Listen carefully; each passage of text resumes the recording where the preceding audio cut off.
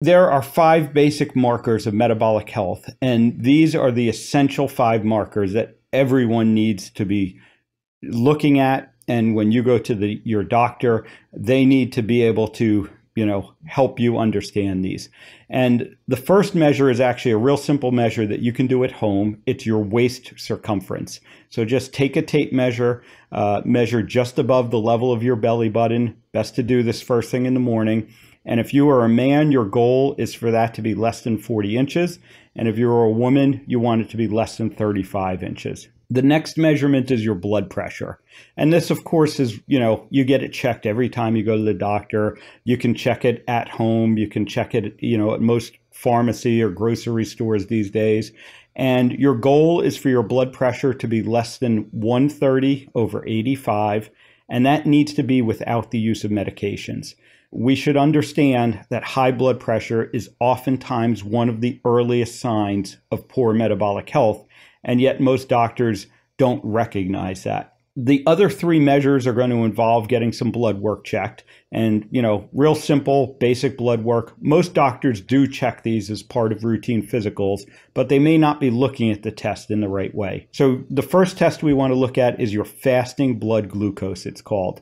That is the amount of sugar that's in your blood when you haven't eaten for about 8 to 12 hours and we want this to be less than 100 milligrams per deciliters is the unit here in the United States.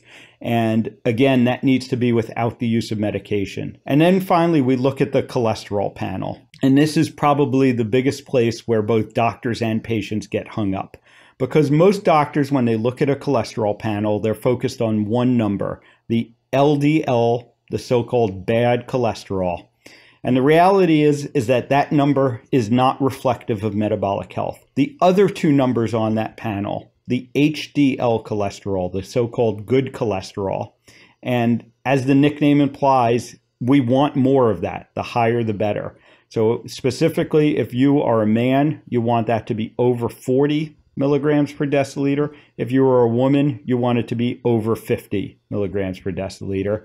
And finally, we look at the triglycerides, which is another number on that cholesterol panel. This one we want lower, and we want it less than 150 milligrams per deciliter. So, again, everyone figure out where you stand on those five numbers. And if you don't know the numbers, go to your doctor, ask them to do the blood work, and see where you stand because one of the misconceptions, one of the other myths I talk about in the book, the misconception is that if you are not overweight, then you are healthy.